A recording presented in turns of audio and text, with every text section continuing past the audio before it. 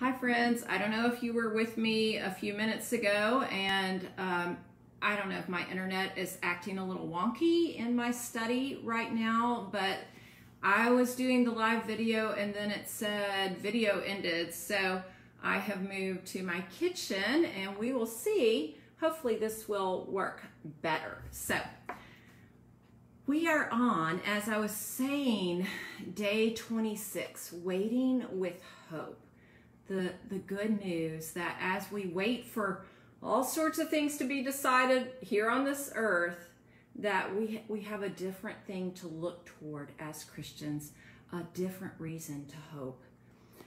Waiting with hope, we too wait with eager hope for the day when God will give us our full rights as His adopted children, including the new bodies He has promised us.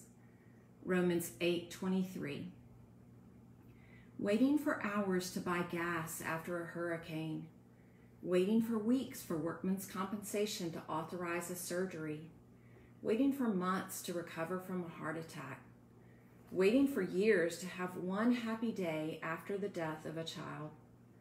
Whenever our stories are shattered by crisis, a season of waiting will likely follow.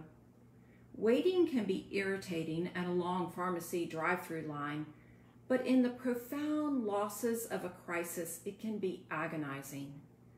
What does it look like to wait with hope as we grieve our losses? First, we must recognize the difference between earthly hope and biblical hope. Earthly hope focuses on good outcomes in the here and now, or at least the near future. There's nothing wrong with such hope hoping that the surgery is approved and that the recovery goes smoothly, hoping that the betrayal will sting less tomorrow than it does today. And yet, earthly hope is often limited by our own short sightedness, our inability to see everything our all seeing God sees.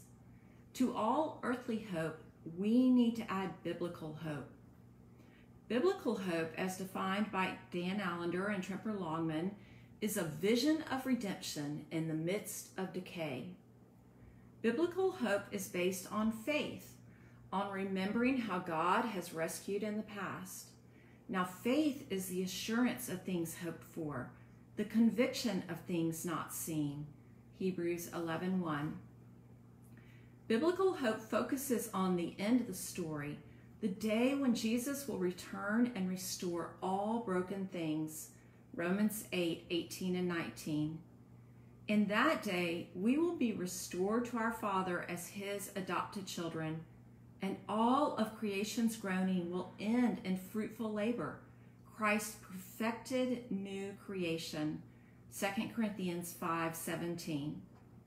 When we wait with biblical hope, we will continue to pray for God's good gifts on this earth gas to fuel generators after a hurricane a sweet memory on a loved one's death day. Biblical hope leads us to pray, God, if I don't get the gas today, help me be patient and trust your provision. Or, if I am sad all day long, be near to me in my grief. When our earthly hopes are disappointed, biblical hope compels us to look and lean toward the final day when all things work together for good in the lives of those who trust God for life and salvation. Romans 8:28. Dear friends, when the wait feels excruciating, remember that you have evidence that your deepest hopes will not go unfulfilled.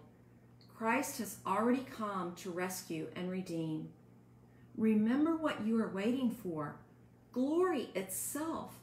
Knowing this, keep hoping with an active imagination leaning into the future, leaning into God's loving purposes in our hardest waits.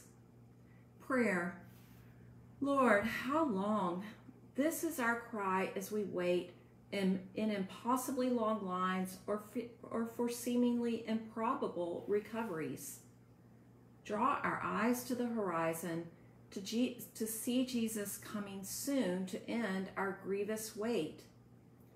In Jesus' already redeeming name, Amen. Further encouragement read Romans 8 18 through 30. Listen to Spring is Coming by Steven Curtis Chapman. For reflection, how has waiting felt for you in this crisis? How have you been disappointed in earthly hopes? How might remembering the end of the biblical story help you to wait with patience?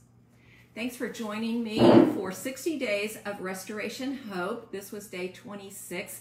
And just a reminder if you are live or watch this today, Monday, November 2nd, there is a sale going on right now. So if you want to get one for yourself and one for a friend, or stock up and just kind of keep some on hand for when a friend goes through a crisis, um, today is the day. $8.99 for the paperback and $4.99 for the Kindle. That is actually a really good deal. So uh, check that out, and I will see you again tomorrow.